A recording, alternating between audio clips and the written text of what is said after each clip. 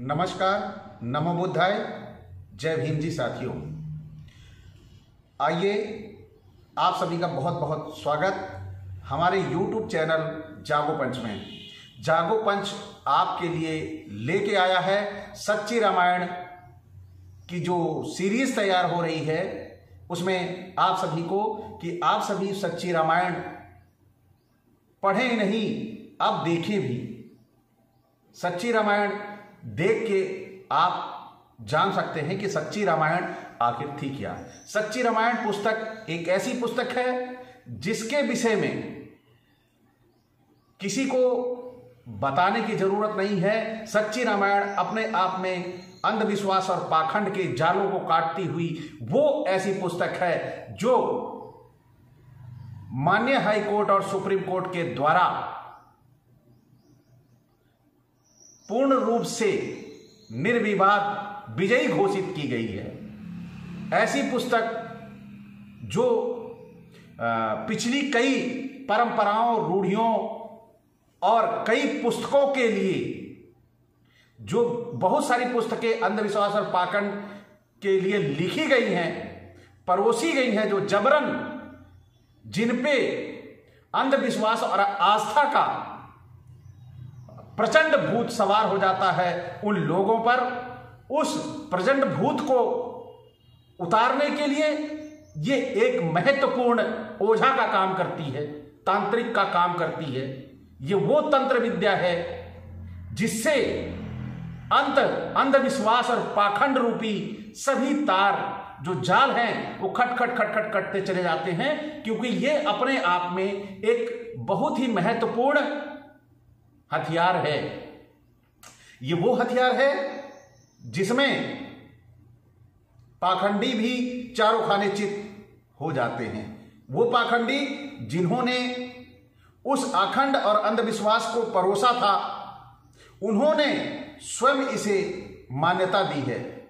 तो आप सभी साथियों से आग्रह है इस सीरीज़ को लगातार देखते चलें, क्योंकि बड़ी ही मज़ेदार पुस्तक है। इसमें वो सब चीज़ें जो रामचरित मानस में छिपा ली गई हैं, वो चीज़ें यहाँ पर सभी निकल के आती हैं, वाल्मीकि की रामायण, वाल्मीकि की देन की वजह से, वाल्मीकि की ये कहिए, सच्चाई की वजह से, वो भी तुलसी की तरह, वो भी तुलसी की तरह बेईमान हो सकते थे, लेकिन उन्होंने समाज के साथ छल नहीं किया, उन्होंने सच लिखा, बस हमारे समाज की ये कमज़ोरी रही है कि हम संस्कृत नहीं पढ़े थे, संस्कृत हमें पढ़ने नहीं दिया गया था, हमें शिक्षा का ही अधिकार नहीं था, लेकिन आज जब शिक्षा का अधिकार हुआ है तो जैसे मुझे जानकारी मिली कि सच्ची रामायण की चाबी, सच्ची रामायण की ये पुस्तक, मैं उन मेरे पुराने परंपराओं रूढ़ियों को एक तरफ़ से अस्वीकार करती है और उनका सफाया करती है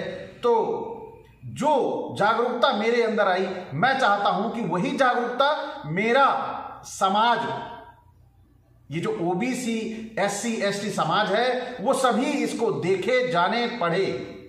जब तक पढ़ेंगे नहीं, तब तक कुछ नहीं होगा, तब तक बदलाव नहीं होगा। तो हमें पढ़ना पड़ेगा। पढ़ने के लिए हमें अपने महापुरुषों की पुस्तकों को पढ़ना पड़ेगा। वहाँ से हमें सच्चाई की जानकारी होगी कि आखिर सच क्या है, पाखंड क्या है, अंधविश्वास क्या है, रूढ़वादियाँ क्या हैं, परंपराएँ क्या हैं। हम ये परंपराएँ जो पीछे से चली आ रही हैं, उनको आखिर हम कब तक ढोएँगे? तो उन्हें आप ढोए नहीं, वो बोझा इतना हो जाएगा कि आप आर्थिक, सामाजिक, राजनैतिक, कि जो आपका विकास है, वो धीरे धीरे खत्म हो जाएगा। क्योंकि इसी को खत्म करने के लिए उन पुस्तकों का निर्माण किया गया था। तो आइए उन्हीं पुस्तकों को कूड़े में डालने के लिए जो सामने पुस्तक आई कि इस पुस्तक को पढ़ लोगे तो पिछले पुस्तकें जो हैं, वो डस्टबिन में स्वतः डाल दोगे। तो आइए शुरू करते हैं हम सच्ची रामायण कि वो वहाँ से जो पिछले, जहाँ पे हमने खत्म किया था, उसी के बाद अगला जो पॉइंट था, बिंदु था, वहाँ से मैं शुरू कर रहा हूँ। आप सभी ध्यान से सुनते जाएँ। भरत भरत वन में अयोध्या की राजगद्दी राम को सौंपकर, उसकी खड़ायु लेकर अयोध्या वापस लौटा। उसने उन्हें सिंहासन पर रखकर चौदह वर्ष तक एक तपस्वी का जीवन व्यतीत किया। भरत इस चिंता में क्षीण कार्य हो गया कि राम चौदह वर्ष के पश्चात भी अयोध्या में वापस ना आएगा। अतः उसने चिंता में जलने की तैयारी कर ली। देखिए, यहाँ पर एक भाई का प्रेम कितने निस्वार्थ भाव से लिखा है वाल्मीकि जी ने। यह तारीफे काबिल है। तो यहाँ पर राम ने ऐसे सज्जन और सच्चे व्यक्ति पर संदेह किया।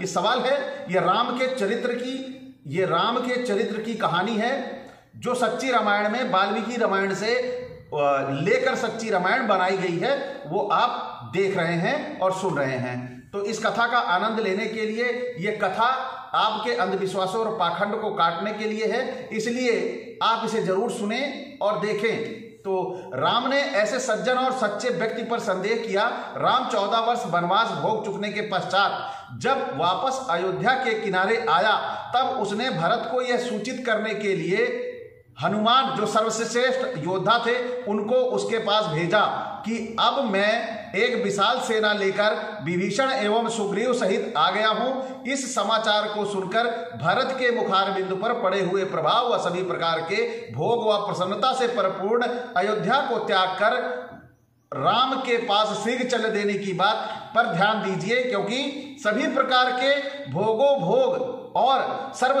संपन्न अयोध्या को छोड़कर तत्काल राम के स्वागत हेतु भरत चल पड़ा और यह देख यह देख, बड़ा ही दुष्कर कार्य है कि कोई एक भाई दूसरा भाई को इस तरह जब उसे गद्दी मिली हो तो नहीं कर सकता, लेकिन भरत के इस भाई प्रेम की वजह से मन, हृदय जो है गदगित हो जा, गदगद हो जाता है, क्योंकि गदगद होने का कारण है, क्योंकि भाई भाई की लड़ाई बहुत ही बुरी मानी गई है और होना भी नहीं चाहिए, क्योंकि दोनों एक ही हैं। तो ये लिखा गया है उत्तरकांड अध्याय 127 आप सभी अगर नोट करना चाहते हैं तो वीडियो को रिपीट सुन के अध्याय भी नोट कर सकते हैं। तो अगले बिंदु पे आते हैं। राम सीता के चरित्र पर संदेह करता रहा और अग्नि परीक्षा देकर उससे अपने सतीत्व को सिद्ध करने को कहा। राम की व्यवस्था अनुसार सीता को यह कष्ट सहन करना पड़ा। तो तो भी राम ने सीता को गर्भवती पाया। अतः सीता के सतीत्व का संदेह प्रजा की चर्चा का विषय बना रहा। सीता के सतीत्व के संबंध में प्रजा के इस प्रकार के विचार के कारण उस समय सीता को वन में छोड़ देने, अपने निर्णय को बिना सीता को बताए उसे गर्भवती दशा में जंगल में छुड़वा दिया। तो ये बिंदु जो है, आप कितना मार्मिक है?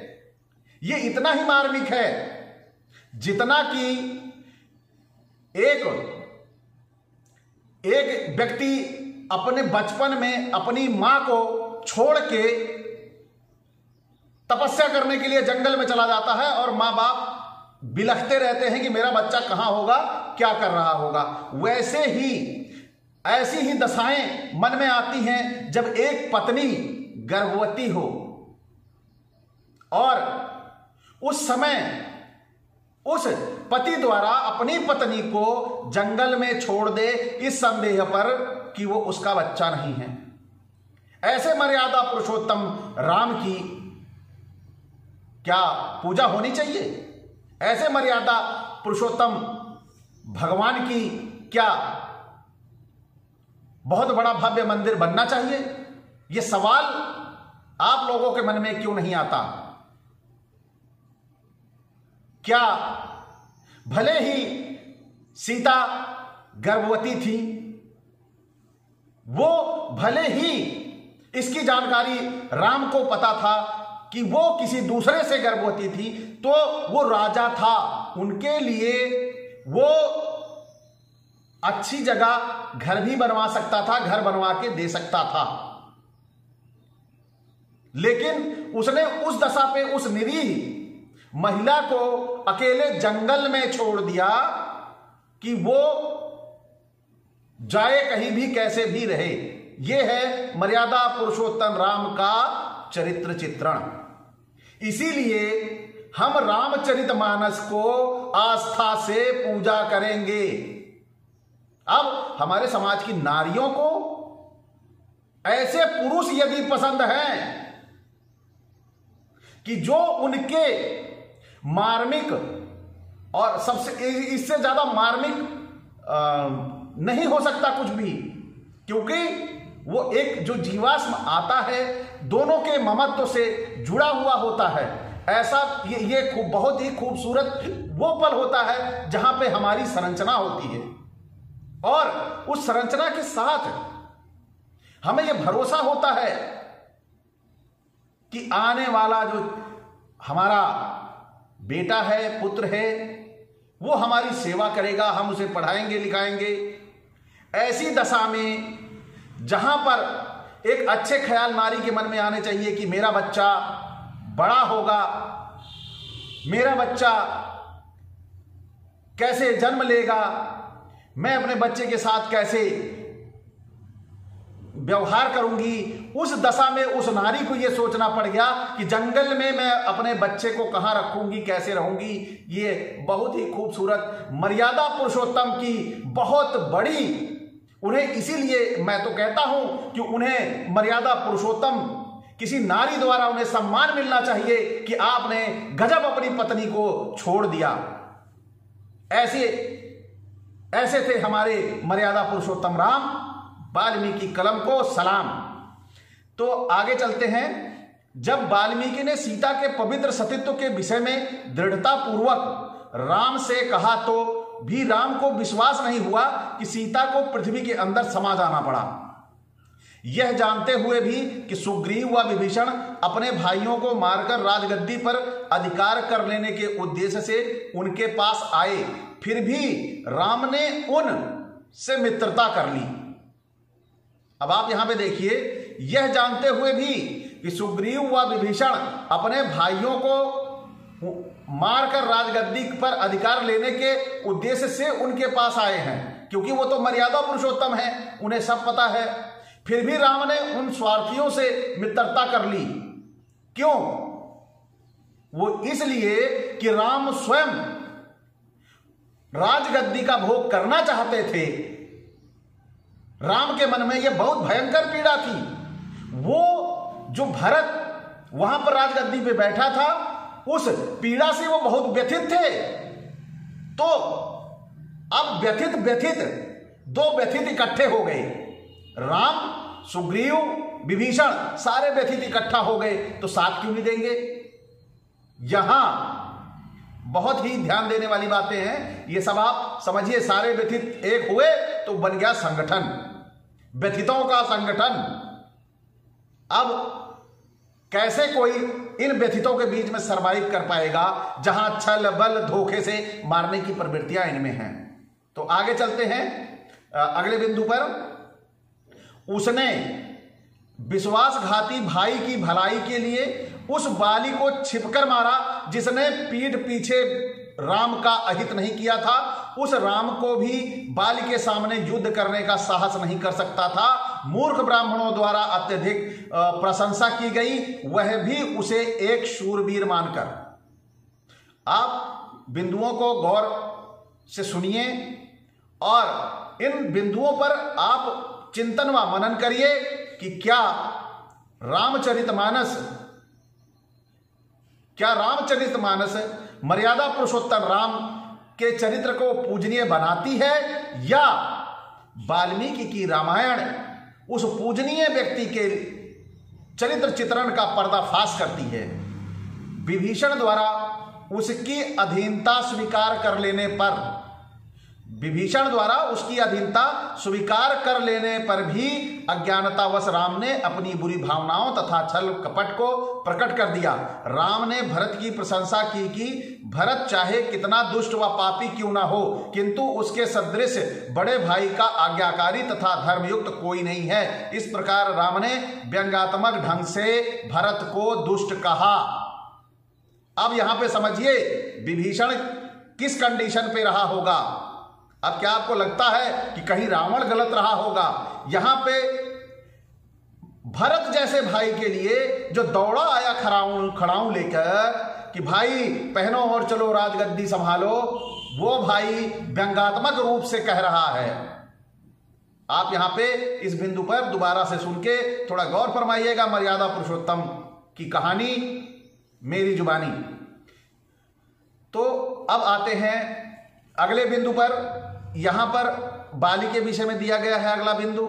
बाली को मारते हुए अपने इस कार्य को न्यायच्युत बताते हुए राम ने उस बाली से व्याख्या की कि जहाँ तक जानवरों का संबंध है, यहाँ धर्म का विचार नहीं करना चाहिए। तो राम ने बाली को इस कारण मारा कि वह चेतन जीव के समान व्यवहार नहीं करता था। बाली के प्रति आरोपित दोषियों, दोषों के प्रति उसे कुछ भी कहने का अवसर नहीं दिया गया। राम ने बाली को पूर्णता, सुग्रीव के स्वादपूर्ण कथना कथनानुसार मारा। अब यहाँ पे एक पक्ष की बात सुनकर उन्होंने राम ने बाली को मारा। आप गौर करें, न्याय ये मर्यादा पुरुषोत्तम का न्याय है। उस मर्यादा पुरुषोत्तम का न्याय है, जहाँ पे आज हमारे समाज की बहुत बड़ी आस्था जुड़ी हुई है।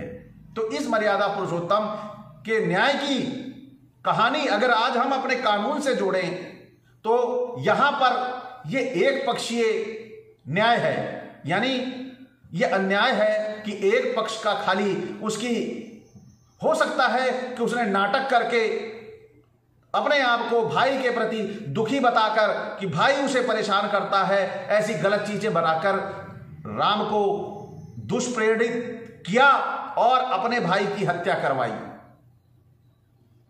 तो मर्यादा पुरुषोत्तम जो भगवान हैं, त्रिकालदर्शी हैं, उन्होंने अपनी आँख का उपयोग यहाँ क्यों ना किया?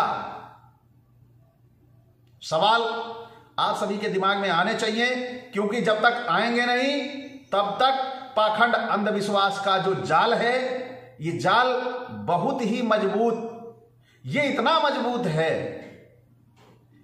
कि ये इसकी मजबूती आपको अपने बच्चों के आगे कमज़ोर कर देती है। ये इतना मज़बूत है। बच्चों के आगे कैसे? मैं बता रहा हूँ, शिक्षा के द्वारा आपका बच्चा बहुत ही अच्छी स्थान पर जा सकता है, डीएम बन सकता है, एसपी बन सकता है, बड़ा इंजीनियर बन सकता है, बड़ी कंपनी का मालिक बन सकता है और मुख्यमंत्री बन सकता है, प्रधानमंत्री बन सकता है। लेकिन आप अंधविश्वास और पाखंड में जकड़े होने के कारण आप अपने बच्चे को अच्छी शिक्षा और विज्ञान के प्रति ध्यान ना देकर अपने बच्चे को एक उस तरफ़ की दिशा में मोड़ देते हो, जहाँ पे आपका बच्चा केवल मजदूर, सिपाही, क्लर्क यही सब बन के रह जाता है। तो इन सब चीज़ों को गौर करिए और अंधविश्वास के जाल को काटने के लिए सच्ची रामायण का बार बार पठन पाठन और अब तो देख भी सकते हैं तो देखिए सच्ची रामायण। राम ने बहुत सी स्त्रियों के कान, नाक व स्तन इत्यादि काटकर उन्हें कुरूप बना दिया था और उन्हें यातनाएँ दी। सूप नखा और आयामुही इसका उदाहरण है। भाई, नाक कान काटना आप सभी को भी मालूम है। नाक काटना का मतलब होता है इज़्ज़त लूटना, कोई किसी की नाक यूँ ही नहीं काटता।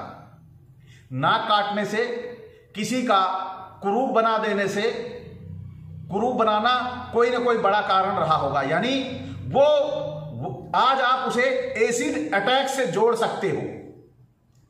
नाक काटना को एसिड अटैक से जोड़ सकते हो। वो कैसे?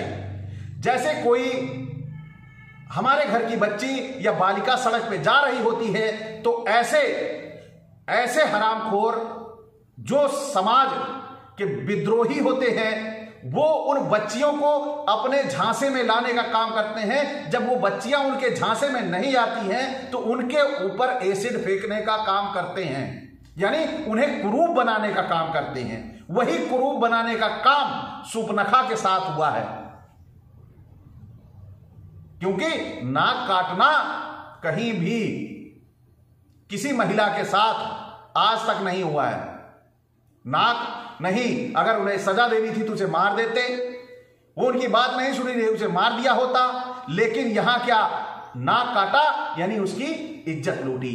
तो आइए, आगे चलते हैं हम सच्ची रामायण के अगले बिंदु पर। राम ने बहुत सी स्त्रियों को मार डाला था, ताड़का और थदगाई। ये नाम वाल्मीकि रामायण में उद्गृत हैं, लिखे हुए हैं। राम ने कई अवसरों पर स्त्रियों को गालियाँ दी।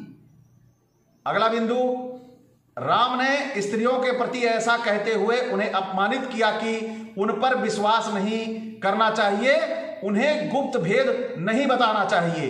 अयोध्या कांड संवाध्याय अब यहाँ पे आप देखिए, राम का चरित्र चित्रण, यहाँ पर स्त्रियों को, के प्रति कितना अविश्वास उनके मन में भरा था, और वो कह रहे हैं, गुप्त भेद अपना नहीं बताना चाहिए। गुप्त भेद मतलब यही चीज़ हमारे समाज का संस्कार बन जाता है, जब हम कोई गलत काम करते हैं। आप, गुप्त भेद आपका तभी होगा, जब आप गलत काम करोगे। जब आप किसी गलत काम को किए रहोगे तो आपका गुप्त भेद हुआ। वो गुप्त भेद अगर आपके घर में पता चल जाएगा, यानी आप कहीं दुष्चरित्रता कर रहे हो और आके घर में बता दो या पता लग जाए तो आपकी खैर नहीं। तो बता रहे हैं यहाँ पे मर्यादा पुरुषोत्तम, राम की गुप्त भेद नहीं बताना चाहिए। अरे भाई, गुप्त भेद करना ही नहीं चाहिए, बताने वाली बात तो अलग है। आइए, अगले बिंदु पर चलते हैं। राम ने हमेशा अनुचित विषय भोग में तल्लीन रहता था। यहाँ भाषा थोड़ा, वो इंग्लिश रूपांतर की वजह से थोड़ा भाषा भी यहाँ पे लिखने में थोड़ी त्रुटियाँ हुई हैं। राम हमेशा अनुचित विषय भोग में तल्लीन रहता था। राम अनावश्यक रूप से कई जीवों को मारा और उन्हें खा गया। राम ने कहा था कि मैं केवल राक्षसों को मारने के लिए बन गया था, दूसरे मैंने राक्षसों के संहार करने का दूसरों को वचन दिया था। अब ये राक्षस कौन थे? राक्षस, अगर हम कहें तो यहाँ पे राक्षस वो कह सकते हैं जो समाज के लिए, समाज की सुरक्षा का काम किया करते थे, उन्हें राक्षस कह दिया गया। तो अब आप आगे चलते हैं, फ़िलहाल ये लंबा विषय बन जाएगा, लेकिन हम यहाँ पे पुस्तक की बात कर रहे हैं तो पुस्तक की बात करेंगे, ज़्यादा इधर उधर आपका ध्यान भटकाने का काम नहीं करेंगे। तो राम ने राक्षसों की लड़ाई में लाने का निश्चय किया। राम ने राक्षसों को लड़ाई में लाने का निश्चय किया और सीता के विरोध करने पर भी उसने रावण के देश में प्रवेश किया। यह अरण्य खंड में लिखा गया है। कुंभकर्ण से लड़ते हुए राम ने कहा कि लोगों से प्रेरित होकर मैं केवल राक्षसों का वध करने हेतु वन में आया हूँ। अरण अरण्य खंड में अरण्य कांड में उनतीस अध्याय। में लिखा गया है ये। स्वा ये बहुत ही बहुत ही मतलब बुद्धिजीविता का काम है कि ये जो आ, इसमें लिखा गया है वो रेफरेंस लेके लिखा गया है। यही हमारी मजबूती का कारण है यही विश्वास का कारण है कि हमें इस पर विश्वास करने के लिए प्रेरित करती है और रामचरित मानस के उस उद्ग्रंशों में जो लिखी हुई है मनगढ़ उस पर विश्वास नहीं होता उस पर विश्वास हटाने का काम होता है। तो अपने आप हट जाना चाहिए क्योंकि ये रेफरेंस जो लिखा गया है वो पहले की पुस्तक से लिखा गया है। यानी वो रामचरित मानस से ज़्यादा सम्मानित अगर आ, किसी का आस्था और विश्वास का विषय है तो वो सबसे पहले वो विश्वास होना चाहिए वाल्मीकि रामायण पर। अगर वाल्मीकि रामायण पर किसी को विश्वास नहीं है तो वो सबसे बड़ा धोखेबाज है, उस धर्म से जो अपनी ही पुस्तक का, पहली पुस्तक का विश्वास नहीं कर रहा है। तो आगे बढ़ते हैं। स्वार्थपूर्ण उद्देश्य से राम ने अयोध्या एवं कपटी सुग्रीव को व्यर्थ ही आत्मसम आत्मसमर्पण कर दिया कि मुझे स्वीकार करो, मुझ पर दया करो। यह जानते हुए भी विभीषण ने अपने भाई रावण को धोखे से पकड़ा दिया है, फिर भी राम ने विभीषण का पक्ष लिया, युद्धकांड सत्रह। लंका का राज्य पहले से ही विभीषण को देने का वचन देकर राम ने आनंद को रावण के पास यह सूचना देने के लिए भेजा था कि यदि अंगद, यहाँ पे अंगद है, थोड़ा मिसप्रिंट हुआ, फिर मैं इस पॉइंट को पढ़ दे रहा हूँ। लंका का राज्य पहले से ही विभीषण को देने का वचन देकर राम ने अंगद को रावण के पास यह सूचना देने के लिए भेजा था कि यदि रावण सीता को लौटा देगा तो मैं लंका पर चढ़ाई नहीं करूँगा और लंका उसके लिए छोड़ दूँगा। तो अगला पॉइंट है, भरत, कैकई, प्रजा व गुरु आदि सभी वन में राम के पास गए और राम से अयोध्या लौट चलने का सत्याग्रह किया, किंतु हृदय राम ने उत्तर दिया कि मैंने अपने पिता के वचनों का पालन करने का निश्चय किया है और मैं किसी का कहना नहीं मानूँगा। इस प्रकार उसने लौटने से इनकार कर दिया और उसी राम ने अपने पिता के वचनों का तिरस्कार करके अयोध्या का राजा बनना स्वीकार कर लिया। दशरथ के प्रति भारत भरत राजगद्दी देने का वचन, युद्धकांड 130 अध्याय। राम ने राम राम ने न केवल गद्दी प्राप्त करने का इच्छुक था, राम न केवल गद्दी प्राप्त करने का इच्छुक था, बल्कि वह अपने पिता के वचनों के अनुसार वन जाने के समय से ही पिता के वचनों का पालन करते हुए वन में रहकर अयोध्या लौटने पर स्वयं राजा बनना चाहता था। राम को गद्दी पर बैठाने की आशा, चिंता, इच्छा के अतिरिक्त कुछ ज्ञान न था। राम ने समय समय पर यह विचार अपनी बातचीत में प्रकट किए। एक साधारण मनुष्य की भांति राम लक्ष्मण को एक नदी में फेंक कर स्वयं नदी में गिरकर मर गया। यह ज़िक्र तो बड़ा ही पेचीदा है, जो आप सभी को लगेगा कि वाकई ही एक मर्यादा पुरुषोत्तम राम की मृत्यु किस प्रकार हो रही है। ये लिखा गया है, उत्तरकांड 106 व का 110वां अध्याय।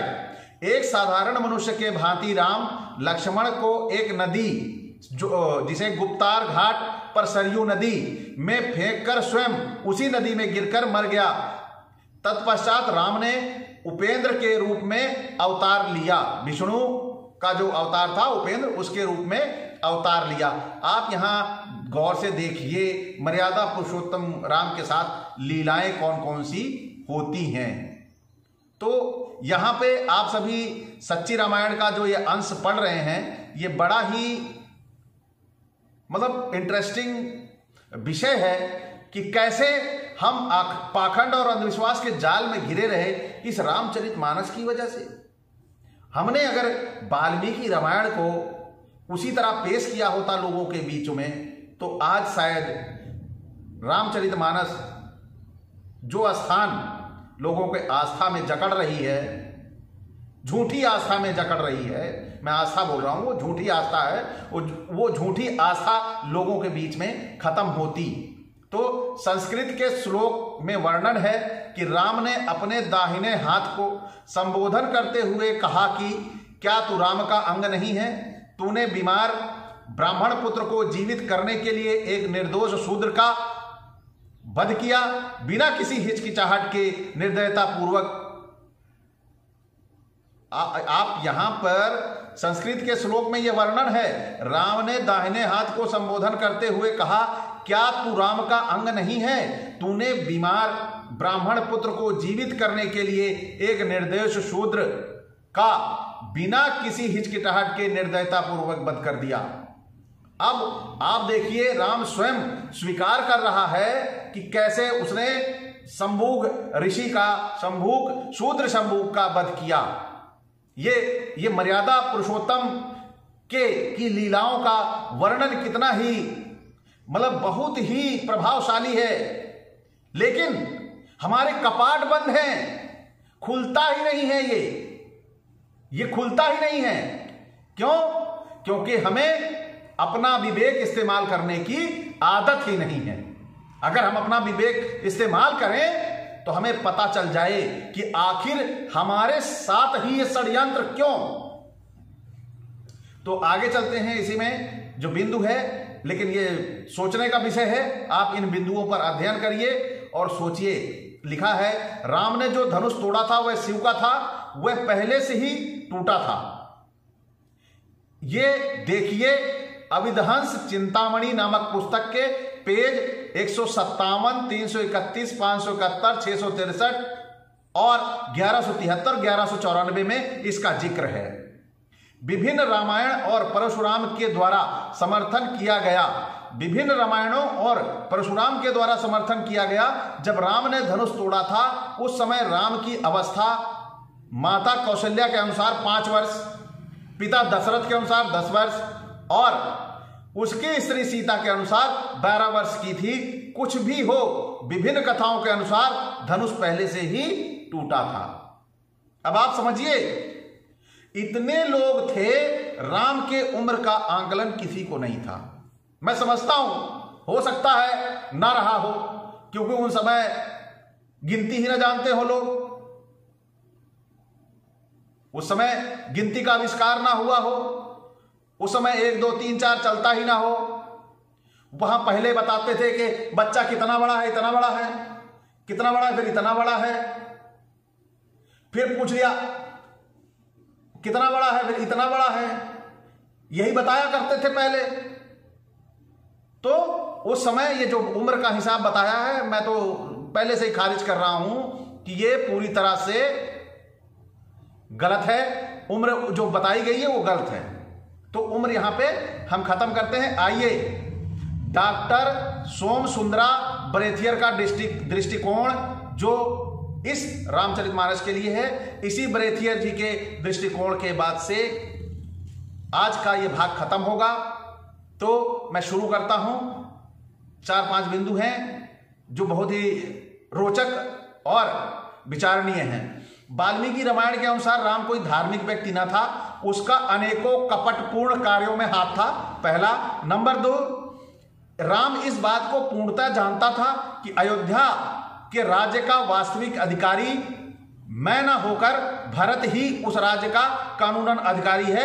यह राम पूरी तरह से जानता था। नंबर तीन, राम राम के पिता दशरथ ने भरत की माता कैकई के से विवाह के करने से पूर्व ही उनसे वचन दिया था कि कैकई के उत्पन्न पुत्रों को ही अयोध्या का राजा बनाया जाएगा। केवल इसी शर्त पर कैकई के पिता ने दशरथ को कैकई दे दी थी। तो आप यहाँ पर इन सब चीज़ों को गौर करिएगा। अब चौथा बिंदु आता है, राम ने स्वयं भरत से इस बात का संकेत दिया था कि राम ने भरत से प्रार्थना की थी कि वह अपनी माँ पर दोषारोपण ना करे। उक्त बात राम की माँ, ऋषियों, गुरु व मंत्रियों को विदित थी। अब आते हैं नंबर पाँच, संक्षेप में राम की माता, ऋषि, गुरु व मंत्री अयोध्या की राजगद्दी को भरत से छीनकर उसे राम को दिलाने में दशरथ के घृणित व कपटपूर्ण षडयंत्र में सह अपराधी थे। आप ये डॉक्टर सोम सुंदरा बरेथियर का दृष्टिकोण है, आपका अपना भी दृष्टिकोण होगा। आपने राम के इन दोनों भागों को सुना, जाना। अब आप भी निर्णय निकालिए कि राम किस तरह का व्यक्तित्व था, मर्यादा पुरुषोत्तम। राम था, एक पुरुषों के लिए उत्तम था, या पुरुषों के लिए कलंक था। इसे आप अपने कमेंट द्वारा हमें बता सकते हैं। अब एक और थोड़ी सी दो, दो पॉइंट और मैं जोड़ना चाहूँगा। वो बड़ा ही इसी पुस्तक से ही जुड़ा हुआ है। तो राम की ये कहानी आज यहीं पे समाप्त होगी। अगला एपिसोड में फिर लेके आऊँगा। लेकिन अब देखते हैं यहाँ पे आबेल मेनन नामक एक अमेरिका निवासी के प्रकाशित रूसी समाचार पत्र के अनुसार, अमेरिका निवासी व्याख्या करता है कि सिगाको गैंगस्टर की प्रकृति का राम और रावण नामक राक्षस द्वारा ले जाए जाने में प्रसन्न सीता तुच्छ हृदय की बालिका थी। देखिए 20 नवंबर सन उन्नीस सौ ईस्वी वॉल्यूम नंबर तेरह, जिल्द नंबर दो सौ तिरसठ, पृष्ठ दो का, सोवियत यूनियन नामक समाचार पत्र। ऐसे ऐसे एविडेंस होने के बावजूद भी हमारा पढ़ा लिखा लिखा पढ़ा समाज बिल्कुल भी उसका उपयोग नहीं करना चाहता। आखिर क्यों? आप पढ़िएँगे, तभी पाखंड अंधविश्वास हटेगा। तो सभी साथियों से आज का एपिसोड आज का ये कथा यहीं पे समाप्त होती है और आप सभी से आग्रह, निवेदन, आप सभी चैनल को लाइक व सब्सक्राइब करें, जिससे हम आगे आपको इस कथा को विस्तृत इसका वर्णन करें और आप आनंद लेके सुने कि आप आनंद लेके सुनेंगे तो आपका पाखंड अंधविश्वास रफू चक्कर हो जाएगा। आप ज्ञान के और बुद्धिजीविता के क्षेत्र में आपका बहुत बहुत बड़ा बड़ा स्वागत। नमो बुद्धाय जय भीम।